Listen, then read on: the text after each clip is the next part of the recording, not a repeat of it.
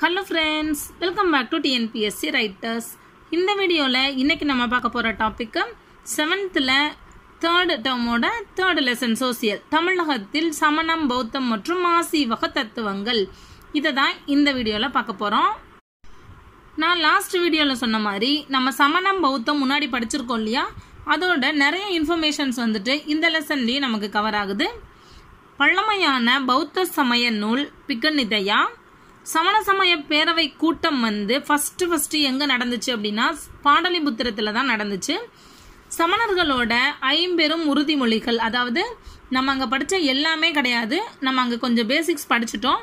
அதை வந்துட்டு சில விஷயங்கள் இங்கே ரிமைண்ட் பண்ணுறாங்க சமணத்தின் ஐம்பெரும் உறுதிமொழிகள் என்னென்ன அப்படின்னு நம்ம பார்த்தோம்னா முன்னாடியே படிச்சிருக்கோம். அஹிம்சை எந்த உயிரினத்தையும் துன்புறுத்தாமல் இருக்கிறது தான் அஹிம்சை சத்யா உண்மையை மட்டும் பேசுறது. அசௌரியா திருடாம இருக்கிறது. பிரம்மச்சரியா திருமணம் செஞ்சுக்காம இருக்கிறது. அபரிக்கிரகா அப்படின்னா பொ- பணம் பொருள் பொன் சொத்து அது மேலெல்லாம் ஆசை இல்லாம இருக்கிறது. இந்த அஞ்சு பெரிய உறுதிமொழிகளை தான் சமணம் வந்துட்டு தீவிரமா வலியுறுத்தி சொல்லுது அப்படின்னு சொல்லிட்டு நம்ம முன்னாடியே படிச்சிருந்தோம்.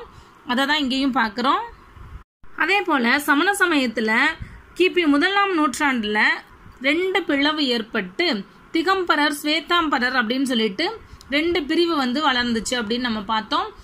வெண்ணிற ஆடை மட்டும் உடுத்துறவங்க நிர்வாண நிலையில் இருக்கிறவங்க அந்த மாதிரி பெண்களுக்கு முழு சுதந்திரம் கொடுத்தவங்க பெண்கள் வந்துட்டு அந்த மாதிரி சுதந்திரமாக இருக்கிறதுக்கு இன்னும் அவங்களுக்கு வந்து அந்த இது கிடையாது அப்படின்னு சொல்லிட்டுலாம் நிறைய அவங்கள பற்றி நம்ம பார்த்தோம். நெக்ஸ்ட்டு சமண இலக்கியத்தின் இரு பெரும் பிரிவுகள் வந்து ஆகம சூத்திரங்கள் ரெண்டாவது ஆகமங்கள் அல்லாத இலக்கியங்கள். இந்த ஆகம சூத்திரங்கள் பார்த்தோம்னா பனிரெண்டு நூல்களை கொண்டது. அந்த ஆகம சூத்திரம் எந்த மொழியில எழுதப்பட்டுச்சு அப்படின்னா அத்த மகதி பிராகிருத மொழியில எழுதப்பட்டிருக்கு. மகாவீரரோட நேரடி போதனைகளை கொண்டது தான் ஆகம சூத்திரங்கள். அவருக்கு பின்னாடி வந்தவங்க சொன்னது தான் ஆகமங்கள் அல்லாத இலக்கியங்கள். அந்த ஆகமங்கள் அல்லாத இலக்கியங்கள் வந்து மொத்தம் எண்பத்தி நாலு நூல்கள். ஆகம சூத்திரங்கள் வந்து பனிரெண்டு தான். ஸோ இந்த ஆகமம் அல்லாத இலக்கியங்களில் நாற்பத்தி ஒரு சூத்திரங்கள் பனிரெண்டு உரைகள் வந்து இருக்கு. அதில் வந்து ஒரு பெரும் மாபெரும் உரை ஒன்று இருக்குது அது என்ன அப்படின்னா மகாபாஷ்யா அப்படிங்கிற உரை தான் இந்த நாற்பத்தி ஒரு சூத்திரங்களுமே பதினோரு அங்கங்கள் பனிரெண்டு உப அங்கங்கள் அஞ்சு சேடாக்கள் இன்னொரு அஞ்சு வந்து மூலங்கள். இது எல்லாம் சேர்ந்து தான் அந்த நாற்பத்தி ஒரு சூத்திரங்கள் வந்துட்டு இருக்குது இந்த அங்கங்கள் வந்துட்டு ஸ்வேதாம்பரர்களால் பின்பற்றப்படும் நூல்கள். உப அங்கங்கள் வந்து நெறிமுறை குறிப்பேடுகள். சேடாக்கள் வந்து துறவிகளுக்கான நடத்தை விதிகள். மூலங்கள் வந்துட்டு சமணத்தோட அடிப்படை கோட்பாடுகள். ஸோ இது எல்லாம் சேர்ந்து தான் சூத்திரங்களில் வந்துட்டு அடங்கும். வத்திரபாகுவோட கல்பசூத்ரா போன்ற எட்டு பல வகைப்பட்ட நூல்களையும் கொண்டதுதான் சூத்திரங்கள்னு சொல்கிறாங்க அதாவது இங்கே பதினொன்று பன்னெண்டு இருபத்தி மூணு இது ஒரு பத்து முப்பத்தி மூணு தான் வருது இல்லையா? மிச்சம் இருக்கிற எட்டு வந்து பத்திரபாகுவோட கல்பசூத்ரா இருக்குல்ல? அதோட சேர்ந்து இன்னும் இன்னும் ஏழு வகையான நூல்களை சேர்த்து தான் சூத்திரங்கள் வந்துட்டு அடங்கும் அப்படின்னு சொல்கிறாங்க சமணத்தோட தாக்கம் இருக்குது அப்படின்னு நம்பப்படுற நூல் வந்துட்டு பஞ்சதந்திரம் சமண தீர்த்தங்கரர்களோட வாழ்க்கை வரலாற்றை உள்ளடக்கமாக கொண்ட சமண நூல் தான் கல்பசூத்ராவோட ஜைன சரிதா இதில் வந்து சமணர் முதல் தீர்த்தங்கரர் பார்சவநாதர்லேருந்து இருபத்தி நாலாவது தீர்த்தங்கரர் மகாவீரர் வரைக்கும் எல்லார பத்தின வாழ்க்கை வரலாறுமே இந்த ஜைன சரிதால இருக்குது ஸோ நம்ம பத்திரபாகு எழுதின கல்பசூத்ரான்னு சொன்னோம் இல்லையா? ஸோ அதுதான் இந்த ஜைன சரிதா வந்து கல்பசூத்ராவோட ஒரு பாகம் தான் கல்பசூத்ராவை எழுதினவர் வந்துட்டு பத்திரபாகம் நமக்கு தெரியும். நிர்வாண நிலையை அடைந்து அதன் பின்னர் இந்த உலகுக்கும் அடுத்த உலகுக்கும் பாதை அமைக்கிறவங்க தான் தீர்த்தங்கரர்கள். சித்தனவாச குகை கோயில் வந்து அறிவர் கோயில் அப்படின்னும் அழைக்கப்படுது.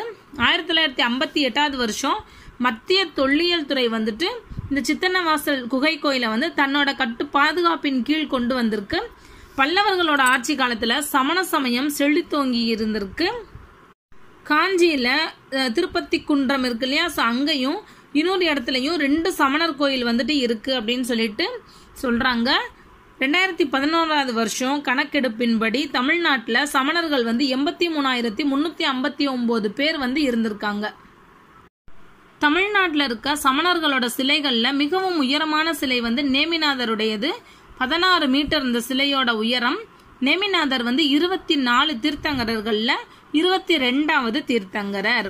பள்ளி அப்படிங்கிறது சமணர்களோட கல்வி மையங்களை தான் பள்ளி அப்படின்னு சொல்லிட்டு அழைச்சிருக்காங்க.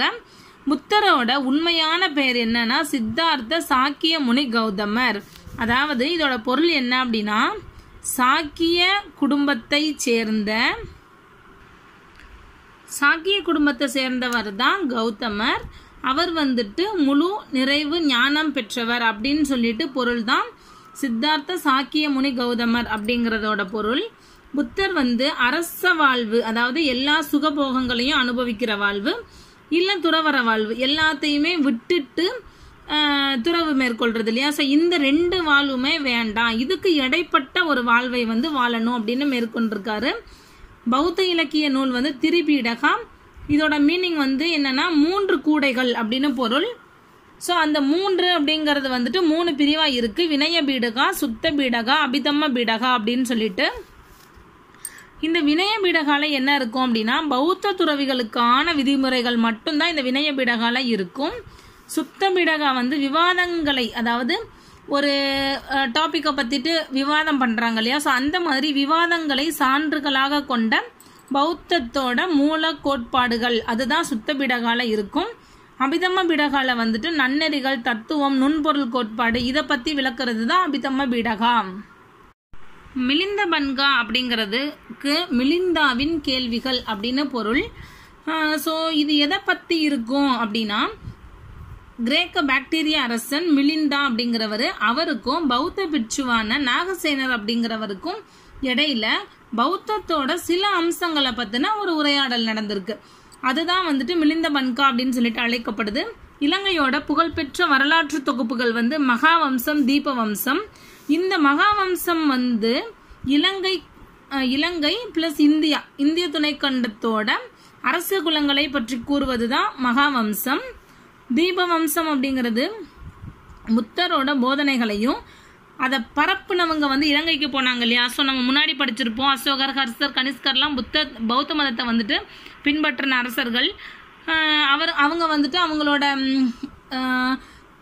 சீடர்களை வந்து இலங்கைக்கு அனுப்பி பௌத்தத்தை பரவ செஞ்சாங்கன்னெலாம் முன்னாடி நம்ம படிச்சிருக்கோம் இல்லையா?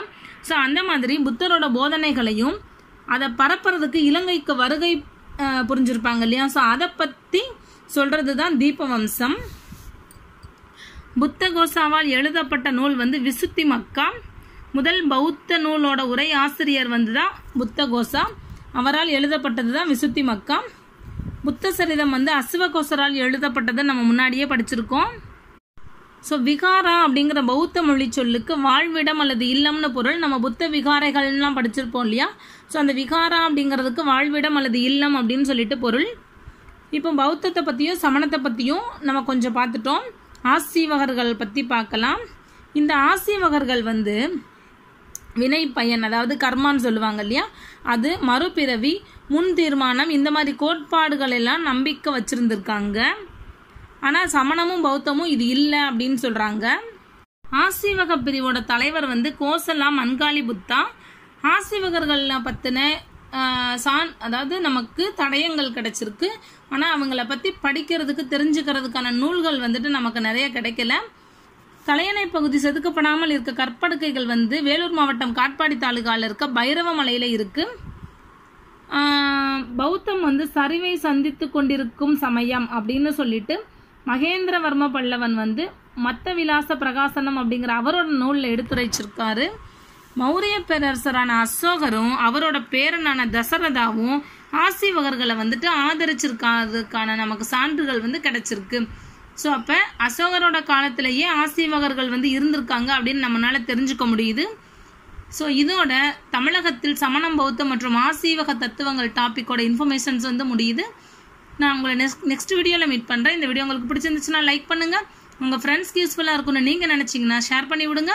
டிஎன்பிஎஸ்சி ரைட்டர்ஸை மறக்காமல் சப்ஸ்கிரைப் பண்ணுங்கள் தேங்க்யூ ஃப்ரெண்ட்ஸ்